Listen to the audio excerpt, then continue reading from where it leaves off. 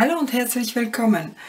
Ähm, ich habe heute ein Muster für euch vorbereitet, weil der Winter ist noch nicht vorbei. Denk nicht, dass der Winter ist vorbei und du brauchst keine dicken Sachen, Sachen mehr stricken. Ich habe, da würdest du lachen, ich habe das Bündchen, habe ich Anfang Dezember hier eingeschlagen für, für weiße Mütze wieder. Und erst gestern habe ich das ausprobiert, mit diesem Muster zu stricken. Ich finde, das wäre ganz toll. Das sieht nach einem Rapport in der Höhe sieht das sehr gut aus mit diesem kleinen Ajour hier. Also, wie du siehst, du kannst das auch in Runden stricken. Ich habe hier das mit zwei Stricknadeln gestrickt. Entschuldigung. Au, au, au, au. Äh, mit zwei Stricknadeln gestrickt und so würde ich das auch jetzt mit euch stricken. Ich muss sie beruhigen, glaube ich. Nee, ist, ist sie ruhig jetzt. Das macht sie immer. Nichts Schlimmes. Wir haben hier auf der Skizze zu, zu sehen. Da siehst du auf der Skizze schon die von euch, die ja keine äh, Anfänger sind, sehen, dass das nicht schwer ist. Wir haben die linken Maschen, wir haben Umschläge. Im Blau haben wir die rechten Maschen. Maschen überzogen zwei zusammen, das heißt, die biegen sich nach links und zwei Maschen zusammen. Die Masche biegt sich dann nach rechts. Die geraden Reihen strecken wir so, wie die Maschen erscheinen. Wir haben hier ich habe vergessen, das hier zu zeichnen, aber wir haben hier für die Symmetrie äh, linke Maschen. Die linken Maschen äh, strickst du nur, wenn du mit zwei Stricknadeln strickst. Das heißt, die Maschen hier strickst du für, für die Symmetrie nur mit zwei. Also, wir haben Maschenzahl teilbar durch 23 plus drei Maschen nach dem Rapport plus zwei Maschen als Randmaschen. Wenn du jetzt in Runden strickst, so wie ich hier, dann hast du keine Maschen für die Symmetrie und keine Randmaschen. Also du muss nur Maschenzahl teilbar 23 haben. Nach oben haben wir 10 Reihen oder 10 Runden. Die geraden Reihen und die geraden Runden, das ist egal, strickst du so wie die Maschen erscheinen. Also, wenn die in Reihen äh, äh, hast du hier strickst mit zwei Stricknadeln. Linke Maschen erscheinen die hier als rechte. Das alles strickst du in geraden Reihen nach links auch die Umschläge. Wenn du in Runden strickst, strickst du in zweiter Runde die Maschen hier als linke. Hier strickst du rechts von vorne, rechts, rechts, links, links und so weiter. Das ist sehr, sehr einfach.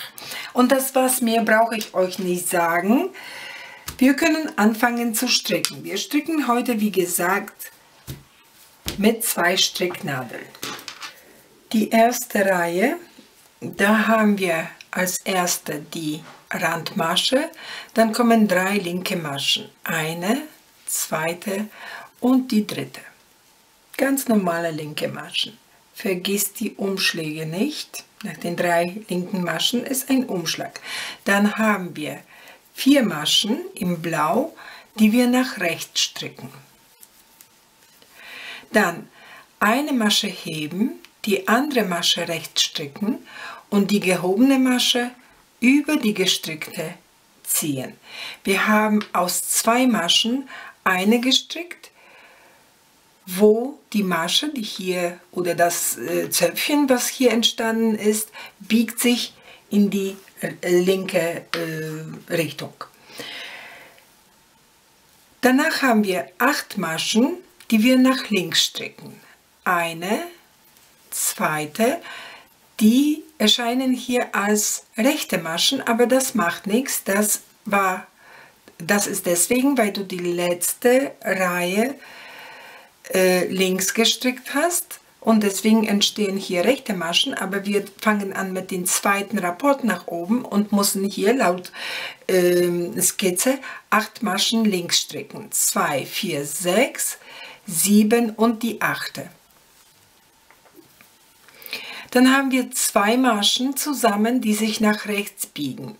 Ich muss die zwei Maschen drehen erstmal und jetzt von vorne steche ich meine rechte Stricknadel unter den zwei, warte, die Schärfe, so, unter den zwei Maschen, wie du siehst, hier die rechte Stricknadel, hole den Faden und damit mache ich zwei Maschen zusammen und das Zöpfchen, was entstanden ist aus den zwei Maschen, biegt sich jetzt diesmal nach rechts. Dann kommen vier Maschen rechts und ein Umschlag. Nicht vergessen. Du fängst wieder von der ersten Masche, wenn du mehrere Rapports strickst. Bei mir sind die drei Maschen nach links, die ich nach dem Rapport stricke. Die hast du nicht, wenn du in Runden strickst. Auch die Randmaschen hast du nicht in Runden. Dann wendest du die Arbeit und strickst die zweite Reihe oder die zweite Runde, so wie die Maschen erscheinen. Wir haben jetzt die dritte Reihe oder dritte Runde, wenn du in Runden strickst. Die Randmasche, die drei Maschen links, dann kommt eine rechte Masche, ein Umschlag und vier Maschen, die wir nach rechts stricken. Eine Masche heben, die andere Masche rechts stricken und dann die gehobene Masche über die gestrickte ziehen. Jetzt haben wir sechs Maschen, die wir nach links stricken. Vierte, fünfte und die sechste. Hier erscheint uns eine linke Masche und eine rechte. Die zwei Maschen müssen wir jetzt zusammen nach rechts stricken. Ich muss die linke jetzt drehen, weil die hintere Wand muss vorne werden. Dann schiebe ich meine rechte Stricknadel unter den zwei Maschen, hole den Faden und damit mache ich zwei Maschen zusammen. Dann stricke ich vier Maschen rechts, ein Umschlag und eine rechte Masche. Du kannst jetzt weiter deine Rapport stricken. Bei mir sind schon die drei Maschen nach links, die ich nach dem ersten Rapport, weil ich stricke nur ein Rapport mit euch, äh, und die Randmasche. Dann wendest du die Arbeit und die vierte Reihe strickst du so, wie die Maschen erscheinen. Wir haben jetzt die fünfte Reihe, die Randmasche, dann kommen drei Maschen, die wir nach links stricken, zwei Maschen rechts, ein Umschlag, vier rechte Maschen. Dann müssen wir eine Masche heben, die andere Masche stricken. Die stricke ich von vorne, weil die erscheint mir hier als linke Masche. Also stricke ich die von vorne und dann die nicht gestrickte ziehst du über die gestrickte und machst zwei Maschen zusammen überzogen. Dann haben wir vier Maschen, die wir nach links stricken. Zweite, dritte und die vierte. Und dann haben wir zwei Maschen zusammen die sich nach rechts biegt, nach hier. Das heißt, bei mir ist hier erscheint, bei dir muss natürlich auch hier linke Masche erscheinen. Ich drehe die so, dass die hintere Wand vorne ist. Jetzt schiebe ich die rechte Stricknadel unter den zwei Maschen, hole den Faden und mache zwei Maschen zusammen und die Masche biegt sich hier nach rechts. Dann kommen vier Maschen nach rechts, das sind die im Blau und dann im Grün haben wir einen Umschlag und zwei rechte Maschen. Und bei mir sind schon die drei Maschen nach links, das sind die Maschen für die Symmetrie und die Randmasche, die ich nach links stricke. Das war jetzt die fünfte Reihe. Siebte Reihe, Randmasche, drei Maschen links, die dritte Danach haben wir drei Maschen, die wir nach rechts, rechts stricken, eine, zweite und die dritte. Im Grün haben wir einen Umschlag und vier Maschen rechts. Und die vierte. Dann eine Masche heben, die andere Masche rechts stricken und die gehobene Masche über die gestrickte ziehen.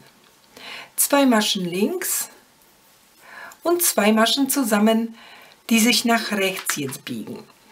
Das heißt, ich muss die hintere Wand nach vorne und jetzt schiebe ich die rechte Stricknadel unter den zwei Maschen von vorne, hole den Faden und mache zwei Maschen zusammen. Dann kommen vier rechte Maschen, dritte und die vierte, ein Umschlag und drei Maschen rechts. Und das Ganze wiederholst du, die Rapports, so oft, wie du für dein Projekt brauchst. Ich stricke nur ein Rapport, also habe ich jetzt hier für die Symmetrie drei linke Maschen und die Randmasche. Die neunte Reihe Randmasche, drei Maschen links, die erste, zweite und die dritte. Danach haben wir vier Maschen rechts. Ich glaube, ich muss ein bisschen näher zu euch kommen, weil ich bin ein bisschen zu weit gegangen. Dann haben wir die, nach den drei linken Maschen haben wir vier Maschen nach rechts, zweite, dritte und die vierte. Dann kommt ein Umschlag und wieder vier Maschen rechts. Dann eine Masche, zwei Maschen zusammen überzogen. Eine Masche heben, die andere Masche rechts stricken und die gehobene über die gestrickte ziehen. Zwei Maschen zusammen nach rechts, also von vorne. Vier rechte Maschen, ein Umschlag und vier nach rechts. Und nach den vier rechten Maschen wiederholst du wieder so oft, so viele Rapports, wie du dafür, äh, für dein Projekt brauchst. Bei mir sind schon die drei Maschen nach dem Rapport für die Symmetrie und die Randmasche. Das war jetzt die neunte Reihe. So sieht das aus. Das ist ganz, äh, ja, ziemlich große äh, Muster. Wenn euch das gefällt, kannst du natürlich die Skizze dir abschreiben. Äh, und ja, ich habe hier, wie du siehst, extra die drei Maschen gemacht. Das sind die linken Maschen. Für, für das Foto mache ich die, äh, zeichne ich die natürlich hier. Ich wünsche euch einen schönen Tag und das war's für heute. Bis zum nächsten Mal. Tschüss.